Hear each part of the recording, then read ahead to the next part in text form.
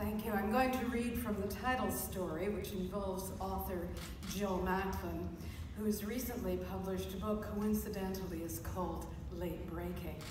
To Jill's great surprise, it has been nominated for the terrifyingly prestigious Olympia Featherstone Award for Fiction, which I assure you is entirely fictional.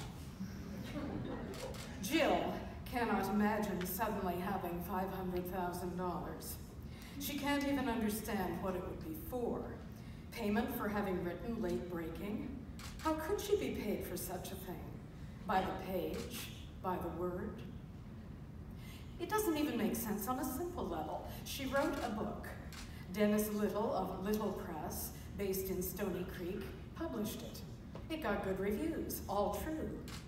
But she wrote five other books prior to Late Breaking, and they all got good reviews too. Critics routinely refer to her prose as transparent, and to herself as consistently underrated.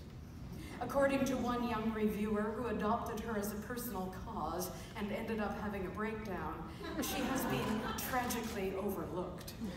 She has never won a prize, never even been nominated for one. So why did she suddenly show up on the OFAF radar screen?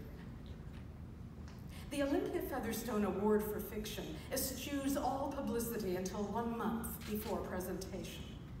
Its vetting process is a secret, and the identity of its apparently high-profile judges something they themselves are contracted to take to the grave.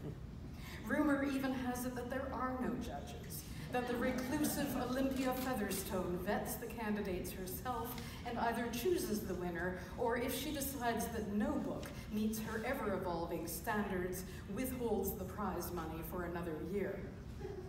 Something called the Olympia effect has been identified.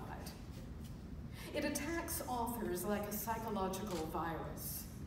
It could be the month of constant travel and performance, or the faceless judging process, or the knowledge that at the end of it all, you will either have more money than most people ever see, or nothing.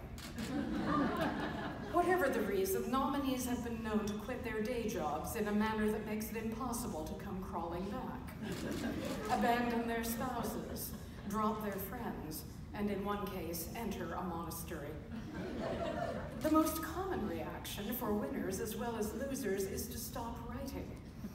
But for all that, whether because of the prestige or the size of the purse, no one has ever turned down a nomination for the Olympia Featherstone Award for Fiction. Thank you very much.